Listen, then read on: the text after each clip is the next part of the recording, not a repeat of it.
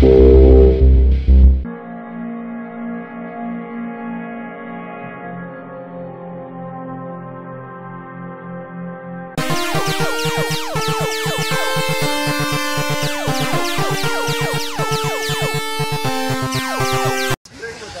Sicily,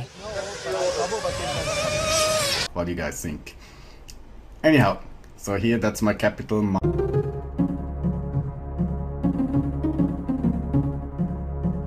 By the Halia God to keep what is left of the peace.